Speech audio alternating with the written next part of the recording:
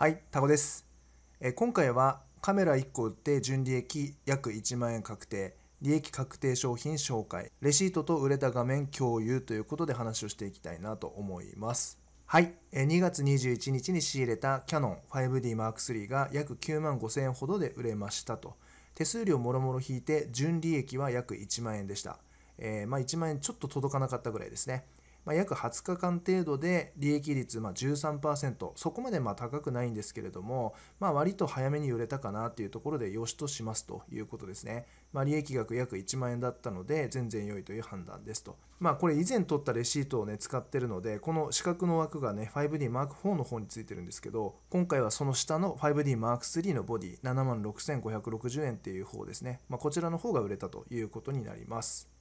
実際にじゃあ売れた、ね、履歴お見せしたいと思います。はい、えーこちらがですね、Amazon の画面なんですけれども、まあ、3月9日ですね、はい、に売れたということで、まあ、5D Mark3 ボディということですね。で、まあ、手数料とか引くとですね、8万6031円ということになりますので、まあ、仕入れがですね、7万6560円でしたので、まあ、大体1万円弱ぐらいの利益になったという計算になりますということですね。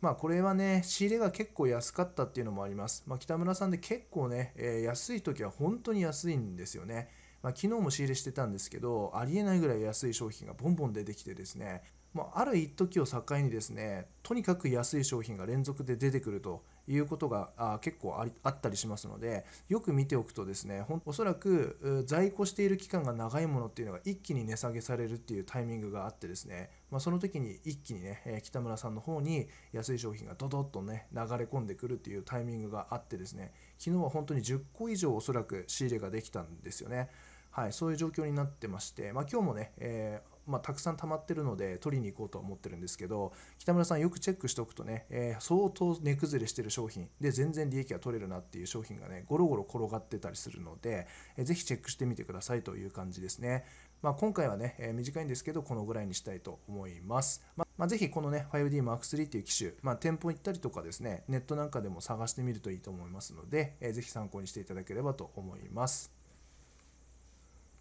はい、えー今回の話がですね、えー少しでもあなたの何かのお役に立てたということであれば、ぜひグッドのボタンを押して応援していただけると幸いです。動画の下にですね、LINE アットのご登録フォームがありますので、えーそちらご登録していただきますと、私と気軽にお友達になることができます。そして、今ですと特典動画の方もプレゼントさせていただいてます。また、あメルマガの方がいいよっていう方はですね、メルマガのご登録フォームも用意してありますので、そちらからも特典の方を受け取っていただけますので、えーぜひこの機会にご登録してみてください。はい。それではあなたの貴重なお時間いただき、ありがとうございました。あなたの成功を心から応援しております。